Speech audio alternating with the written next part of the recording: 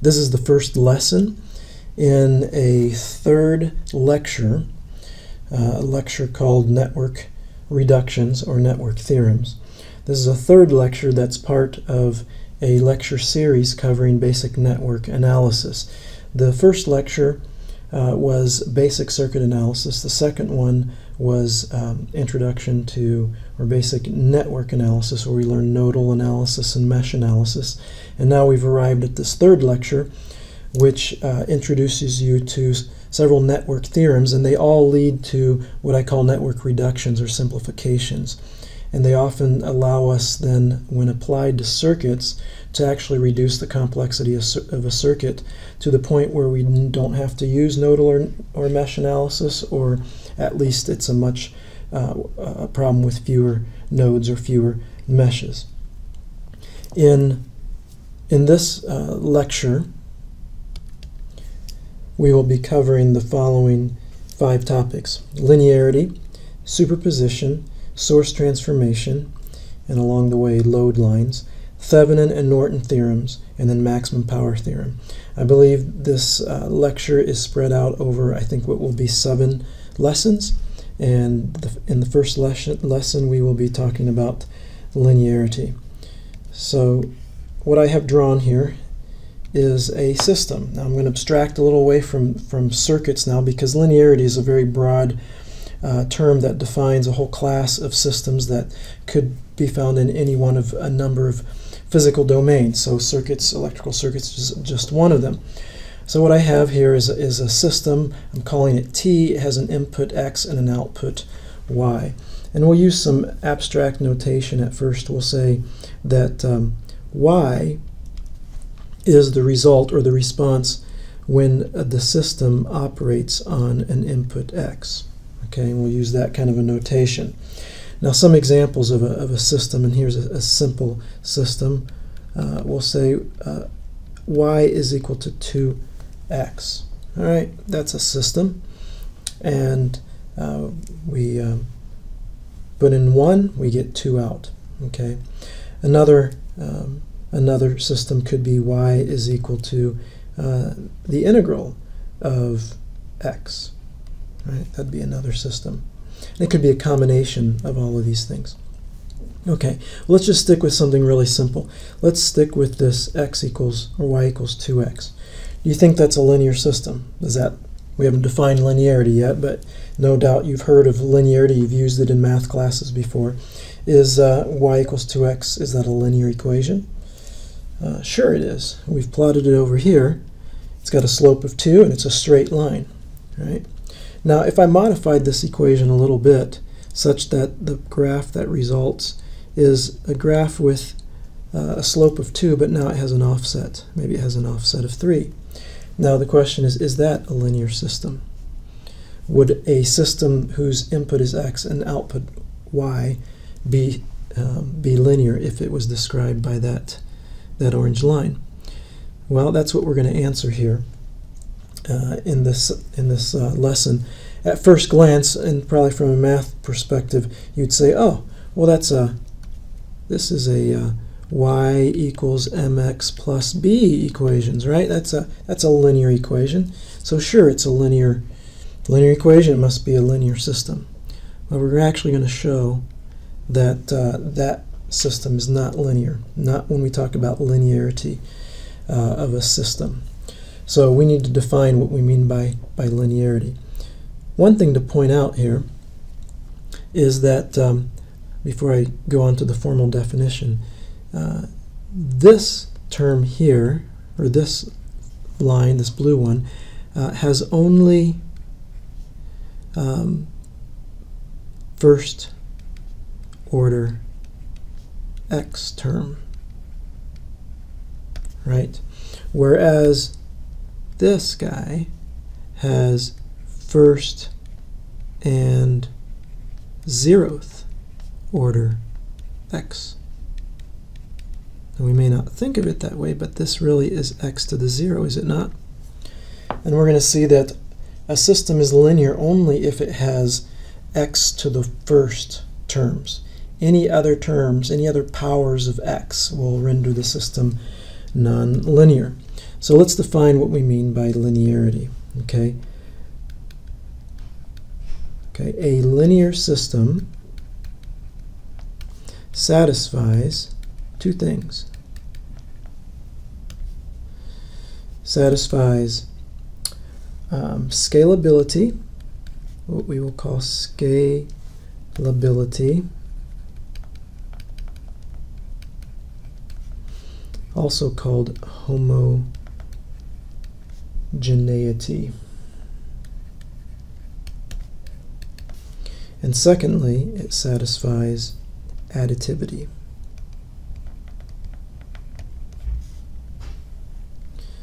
These concepts in the end are simple, okay? We just have some bigger terms for them. Now, let's um, get a little more formal in how we're going to describe this system. Suppose we have a system y equals t operating on x.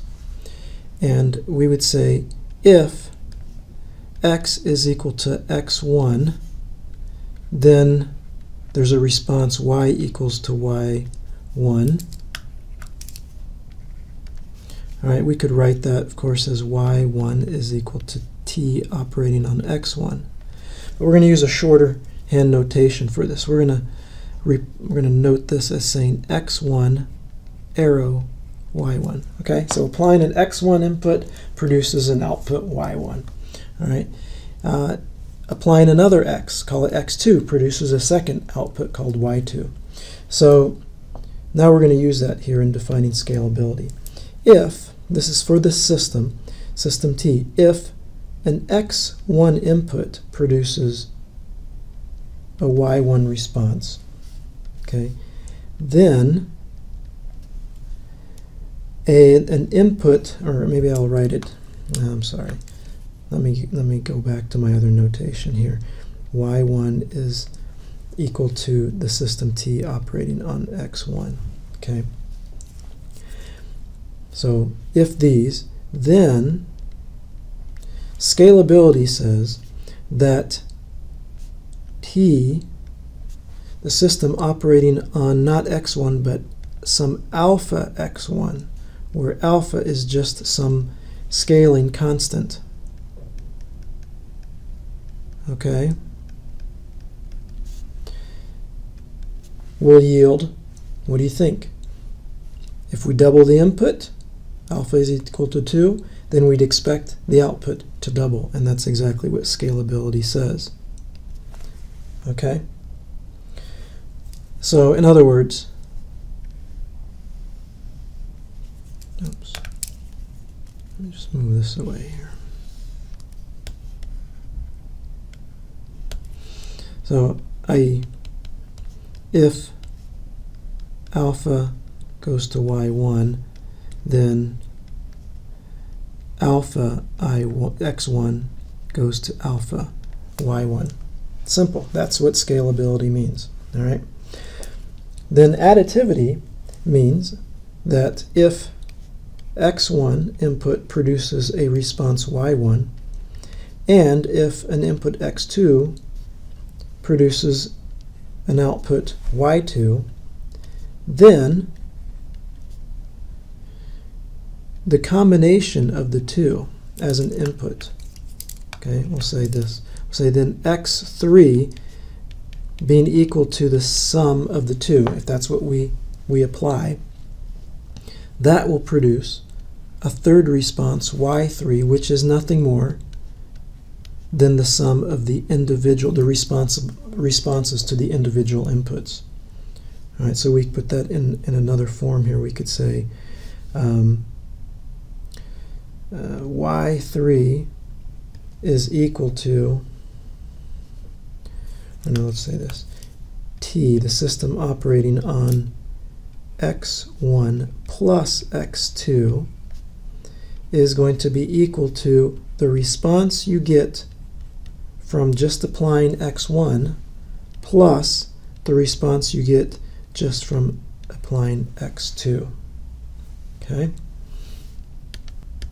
So now let's go back to the question. Is this line, uh, this orange line up here, y equals mx plus b, is that actually linear? Let's test it out. So consider y is equal to mx plus b. Is it a linear system?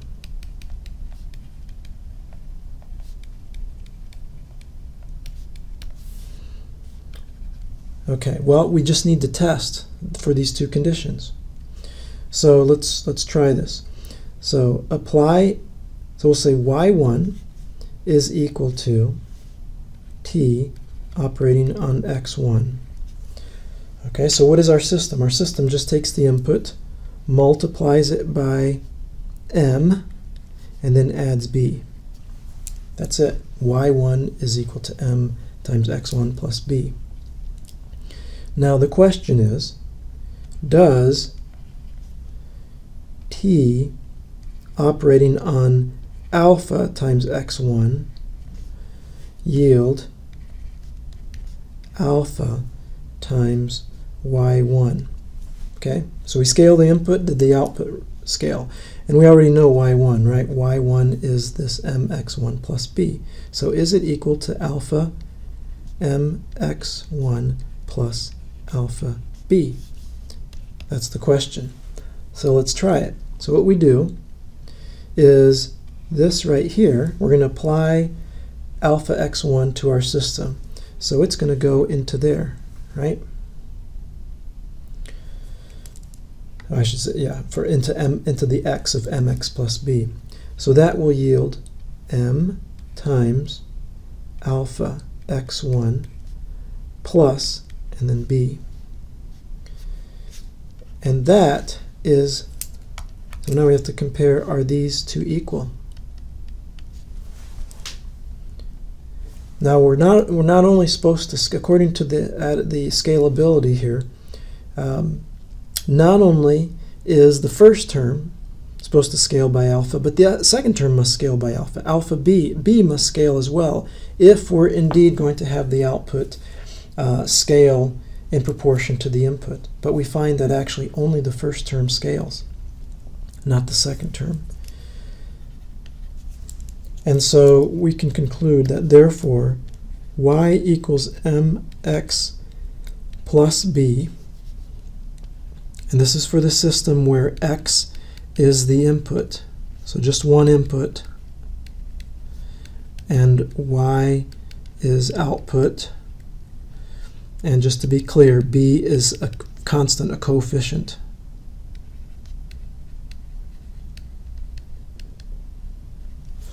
Okay. Therefore, y equals mx plus b is non-linear. It's a nonlinear system. Which is going to be confusing for some, and some will even argue because, after all, f y equals mx plus b is the equation of a line, and a line is linear. Okay, but because mx plus b does not satisfy scalability, it cannot be considered linear. Okay, and furthermore, if you try to check for additivity, um, you're going to find that it also doesn't satisfy additivity. So we can, if you want to just um, practice that, we can we can look at an a particular example. So here we go. Example. Let's say we have a system that's equal to 2x plus 1. Right. So if we have y1 is equal, to, I'm sorry, x1, let's let that equal to 1 and we'll try x2 is equal to 2. So if you apply an x1 to the system, what are you going to get? 2 times 1 plus 1, you'll get 3. And if you apply a 2 to the system, you'll get 2 times 2 is 4 plus 1 is 5. Now the question is, now does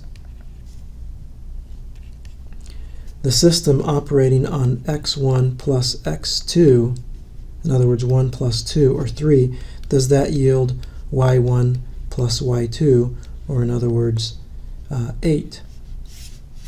Well, t operating on 3 actually gives us 2 times 3 plus 1, which is equal to 7, which is not equal to 8.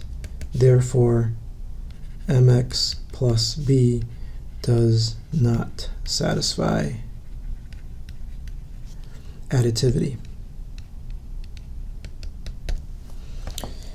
So this is kind of abstract at this point. We're to, the nice thing is with the circuits that we're studying, they're all linear. We're going to make sure they're linear. And so we're going to be able to do some powerful things thanks to the fact that they're linear. But before we could start leveraging off of that, we needed to spend some time actually exploring and defining what we mean by a linear system or a linear circuit. In closing, let me just point out, let me ask the question.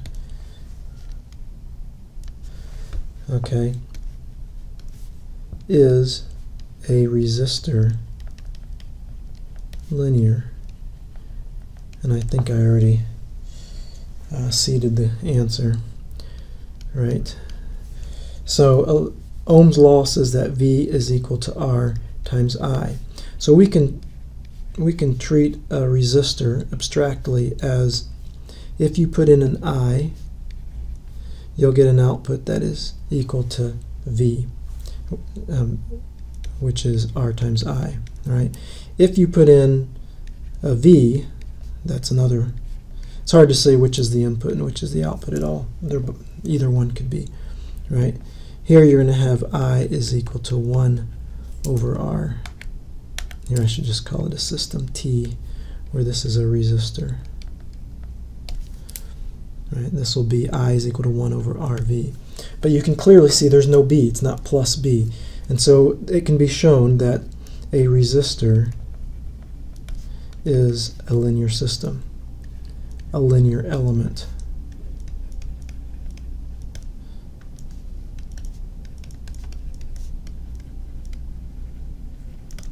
And furthermore, we'll be able to say that when we study capacitors and inductors, although they involve an integral or a derivative, it turns out that taking the derivative or taking the integral is also a linear operation, meaning that it satisfies scalability and it satisfies additivity.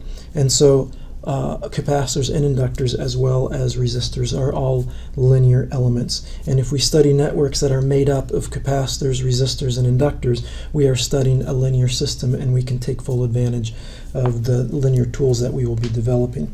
Uh, and, and so the, the rest of the this lecture on network reductions actually is based upon the fact that we are studying linear systems. If we weren't, we couldn't uh, we couldn't do source transformation, we couldn't do superposition, we couldn't do Thevenin or Norton theorem, etc.